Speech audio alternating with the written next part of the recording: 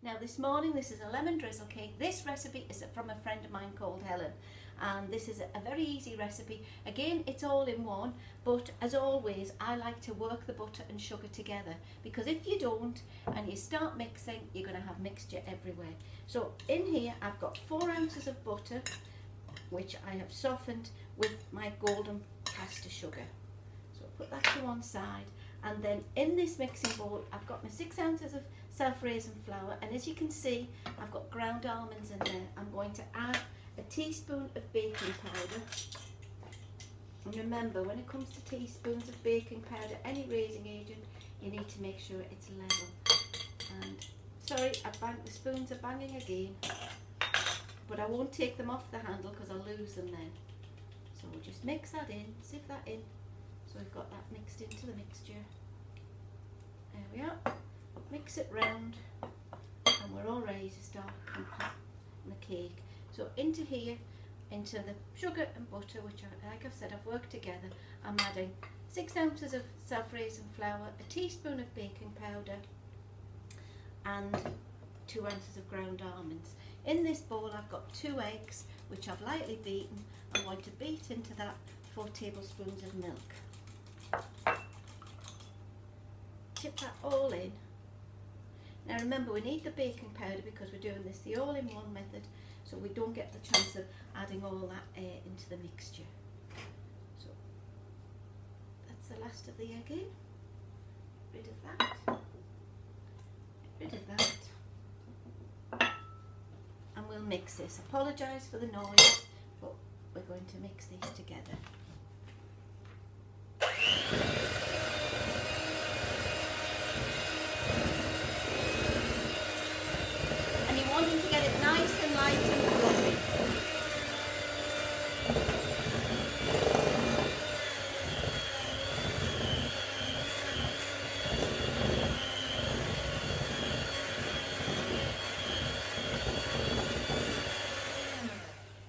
The mixture basically incorporated but we need all these bits off the side to ensure everything gets really well mixed in. So scrape down the side of your bowl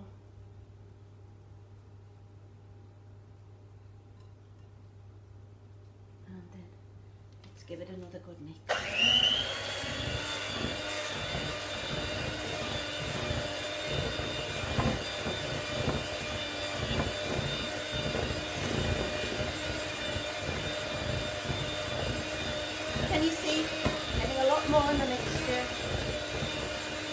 lighter, like a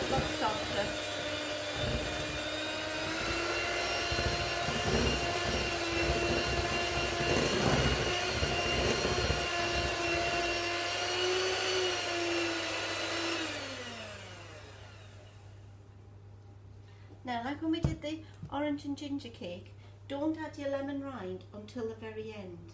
Because if you put that in, as I've said before, when you're doing the um, using still using the mixer, you'll end up with all these nice pieces of lemon rind on the mixer and not in your cake.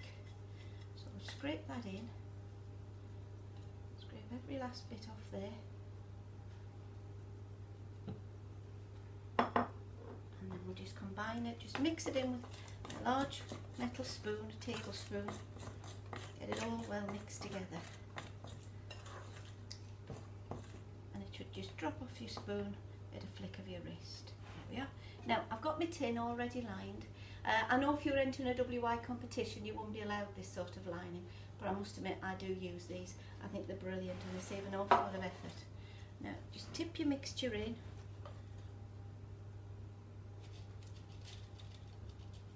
bit more difficult than when you're doing a tray bake to get it exactly in the, in the tin. If you prefer a tray bake recipe, there is one, doesn't have the ground almonds in. I think the ground almonds helps to keep this cake nice and moist and that's why I like this one. But this is a loaf rather than a tray bake. But there will be a tray bake lemon drizzle on the website on busy www.busybakers-co.uk. Scrape that off.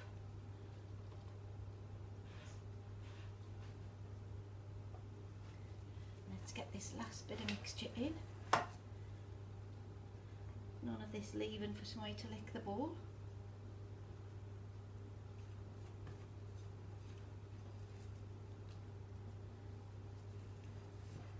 There we are. Clean ball off there.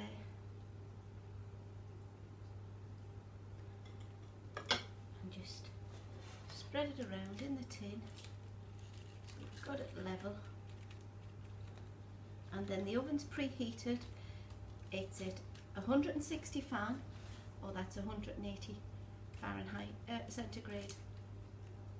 160 fan, 180 centigrade, or gas mark 4.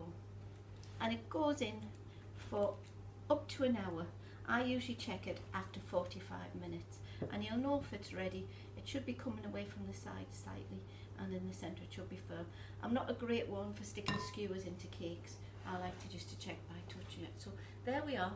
There's our lemon drizzle cake which has got ground almonds in it and the lemon topping we will put on when it's cool.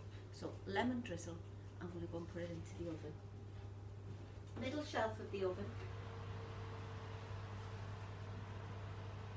Set the timer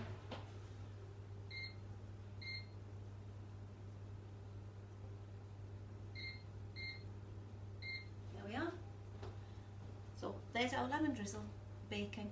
Now all I've got to do is the washing up. Thank you, I'll see you shortly.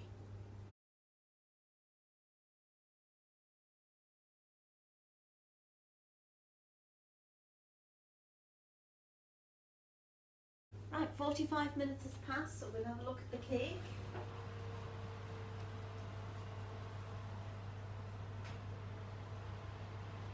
And there we have it. That's after 45 minutes, so it doesn't need up to the full hour.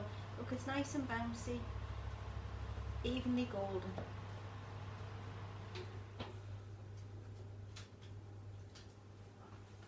Right, now it's out of the oven, we're going to put the topping on it.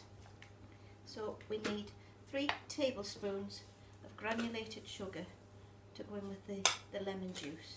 Remember we took the rind and, and juice from one lemon just mix this together. And we're just going to spoon this over the top. While it's still hot while it's just come out the tin. And like I've said before I like it to stay in the in the tin because you don't get the mess everywhere and just spoon it over. So we've got that nice lemon drizzle and the sugary topping going through the cake. This will store well in a cake tin for a couple of days.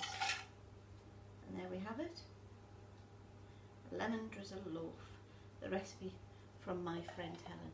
I hope you enjoy eating this one. Let's tip it to you so you can see. I haven't got asbestos hands so I can't do it without. So there we are, lemon drizzle loaf which has got ground almonds in it which helps to keep it and keep it well. So thank you for watching and I hope you've enjoyed the cake. Thank you.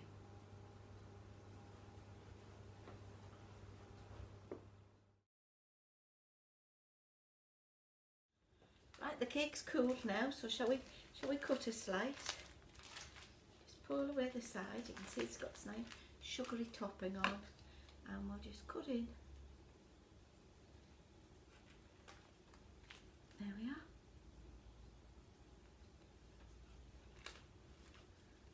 A nice slice.